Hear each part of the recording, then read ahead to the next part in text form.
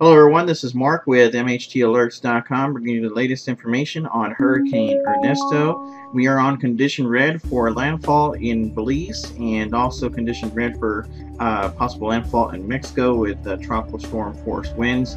And this is a hurricane right now, so it'd be a hurricane force winds for Belize, including large amounts of rain, which we already know the storm has a potential of bringing a lot of rain. So what I'm going to do first, I'm going to show you guys how to use the website uh, that I go to to actually bring up the spaghetti model so you can track it with me here on MHTAlerts.com.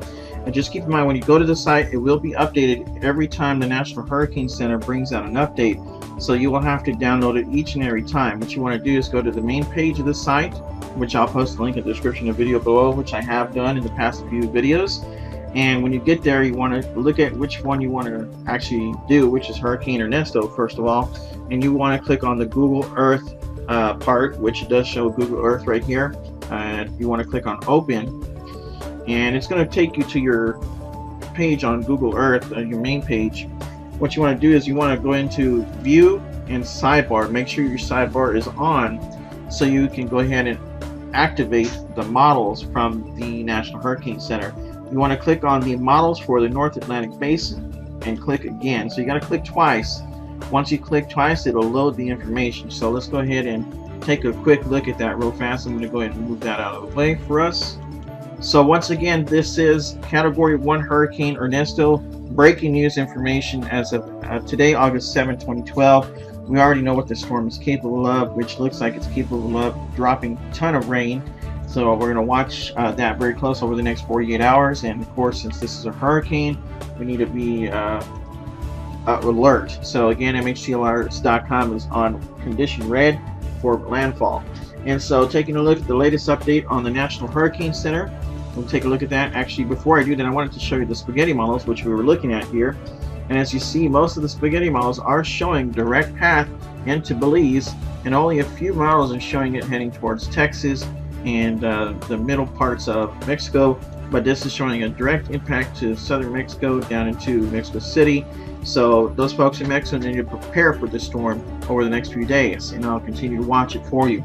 So again, condition red on MHTAlerts.com site, which will be updated shortly, and taking a look at the latest updated information from the National Hurricane Center. We'll go back to that, and I'll bring that up real quick.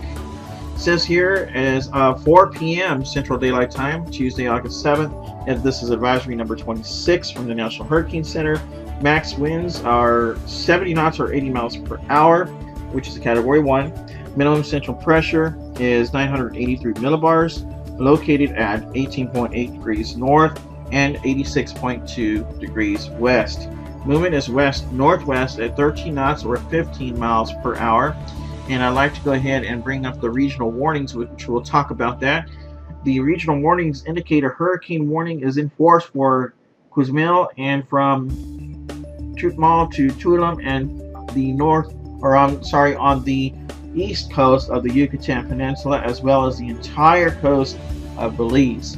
Uh, again, there are tropical storm warnings and watches, which you can take a look at yourself. The rainfall totals indicate here 3 to 5 inches locally, up to 8 inches along the coast or north coast of Honduras and the east coast of Nicaragua, and 4 to 8 inches locally, up to 12 inches in southern parts of the Yucatan Peninsula, including Belize very powerful storm with a lot of rain and thunderstorms. In fact, we'll look at the latest radar loop in just a moment.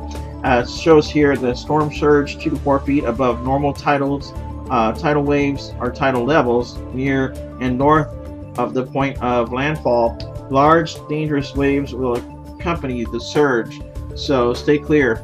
And again, this is the latest radar loop here, which I'll bring up here for you.